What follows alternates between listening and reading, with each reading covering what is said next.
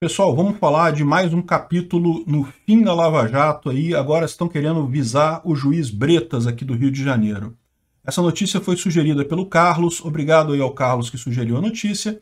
E obrigado a você que está assistindo nossos vídeos por aqui. Se você gosta do nosso conteúdo, por favor, deixe o seu like e se inscreva aqui no canal, né? Pois bem, a gente, eu já avisei isso algum tempo atrás, no momento que o STF decidiu livrar o Lula da cadeia, e tornar ele inelegível, né, desculpa, e tornar ele elegível novamente. No momento que o STF decidiu fazer isso, meu amigo, a Lava Jato estava condenada. Até aquele momento poderia haver reversão.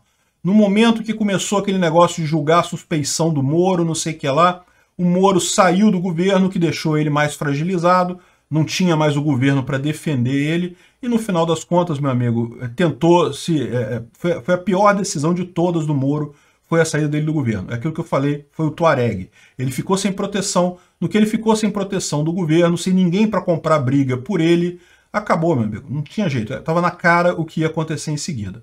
O STF destruiu a Operação Lava Jato completamente, vai liberar todo mundo, vai devolver dinheiro que pegou do pessoal todo, pode ter certeza. É, não é mais corrupção, é. Né? O STF decidiu que não pode, que não era a 13 terceira vara que julgava esses casos, né? Não tem essa não. E veja, é, e a chance de outro juiz pegar agora, e, e, porque eles falam isso, né? Não, isso não foi uma absolvição, isso foi só uma transferência de lugar e não sei o que lá. Meu amigo, você acha que o pessoal não vê que isso daí tem política por trás? Você acha que o juiz lá de Brasília vai pegar para esse negócio? É, nossa, que legal, vou, vou, me, vou meter a cara nisso aqui, vou prender todo mundo de novo. Porra, ele sabe que se ele fizer isso, ele é o próximo Moro, pô. O STF vai soltar o Lula do mesmo jeito e vai acabar é, é, é, perseguindo ele. É o que estão fazendo agora com Bretas. Por quê? Porque com a decisão do STF lá de Curitiba, soltou um monte de gente de lá. Ficou o pessoal aqui do Rio, que está preso pelo Bretas, que era o outro juiz que era muito ativo na Lava Jato. O de São Paulo nunca, nunca fez nada.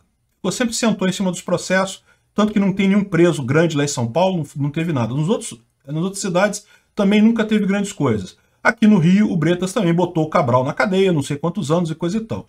O que está acontecendo agora, o que, que eu imagino? O Cabral falou para o pessoal do Supremo, olha só, pô, tudo bem, vocês acabaram com a minha delação aí, agora vão dar um jeito aí de acertar as coisas, porque eu tenho um monte de informações aqui sobre vocês, que mesmo que não seja usado em delação, se eu liberar isso para a imprensa, vai ficar feio para caramba para vocês.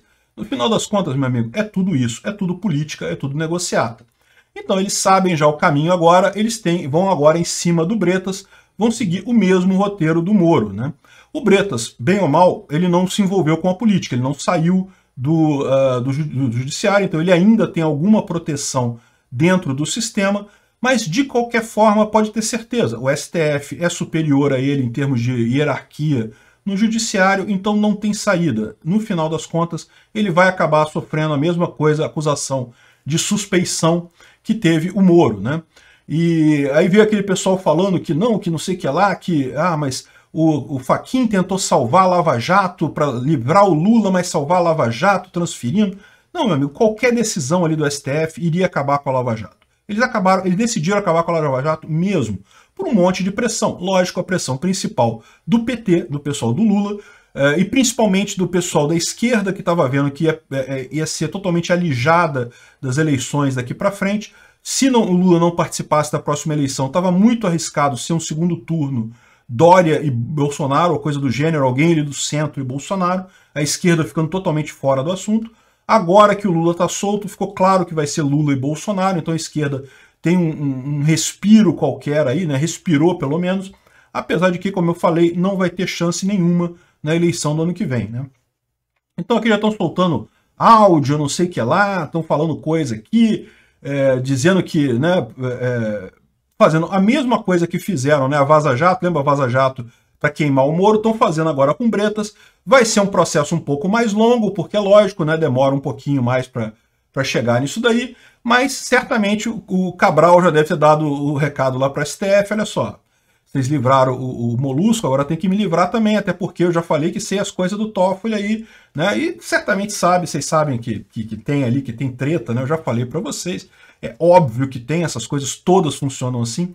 Todos os tribunais superiores no Brasil têm sempre esse arranjo de cada juiz desses tribunais ter um, um, um, um escritório de amigo, escritório da esposa, escritório da filha, uh, escritório de alguma coisa, que é quem recebe a grana para influenciar as decisões daquele juiz. Então, no final das contas, meu amigo, é essa bagunça mesmo. É o que eu falo para vocês. O pessoal que acha que o governo tem como salvar, ah, não, se Bolsonaro ficar lá e, e nomear mais alguns ministros, a gente consegue resolver o governo. Não, não consegue. O governo não tem salvação. Eu acho que seria positivo o Bolsonaro continuar e conseguir nomear alguns ministros, porque ele poderia passar, por exemplo, pelo menos leis de armas, um pouco mais de liberdade econômica. Ficaria um, pelo menos um ambiente um pouco melhor aqui no Brasil, o que ajudaria a nós libertários também, né? Porque teria menos repressão estatal. Agora, achar que um dia vai chegar alguém que vai consertar o Estado brasileiro, não tem conserto, gente. Estado nenhum tem conserto. Estado é uma máquina de roubar a sociedade. É só isso. Não tem nenhuma outra é, qualidade redentora, não tem nada que se salve dali. Por quê? E o problema nesse caso não são as pessoas. Eu não estou dizendo que as pessoas no Estado são ruins. O problema é o sistema. O sistema garante que as piores pessoas subam para as, as posições de destaque, para as posições mais, mais acima. Então, no final das contas, é garantia de que sempre vai ter corrupção no Estado. É o que eu falo. Eu não me preocupo com corrupção. Corrupção saiu dinheiro do meu bolso, meu amigo, já saiu, o Estado já roubou. A minha preocupação é não pagar imposto. Isso que eu acho que, deve ser a preocupação de toda pessoa. Evitar ao máximo dar dinheiro para o Estado. O que você puder fazer para não dar dinheiro para o Estado, você não deve fazer. É lógico, sonegação é crime, então você vai estar se arriscando, mas existem medidas que você pode fazer, mesmo não sendo tão arriscadas assim, mesmo não sendo crimes, para pagar menos imposto. E isso é o que todo mundo deve tentar. A única forma da gente matar o Estado é de fome. Se chegou até aqui e gostou do conteúdo, clique no like e se inscreva no canal. Isso me ajuda e ajuda também a causa da liberdade, pois o YouTube vai passar a recomendar mais os meus vídeos e vídeos com temas libertários para você e para outras pessoas. Considere também clicar no sininho e pedir para ser notificado de novos vídeos. Caso queira sugerir uma notícia para falarmos aqui, é só ir no nosso site https ancap.su, clicar lá em sugerir uma pauta, colocar o link da notícia, pode acrescentar alguma informação se você quiser. Eu agradeço a todos que nos ajudam a fazer este programa.